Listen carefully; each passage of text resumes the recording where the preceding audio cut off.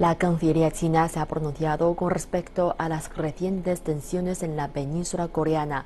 La portavoz de la Cancillería, Hua Chunying, reiteró durante una rueda de prensa la importancia del diálogo para resolver las tensiones pacíficamente.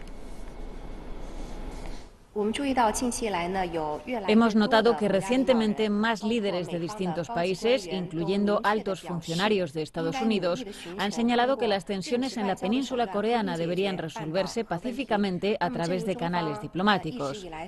Con frecuencia, China ha puesto de relieve que la tensión básicamente está relacionada con la seguridad y que por ello las preocupaciones de las partes involucradas solo podrán resolverse mediante el diálogo, que además es el camino correcto para la desnuclearización de la península coreana.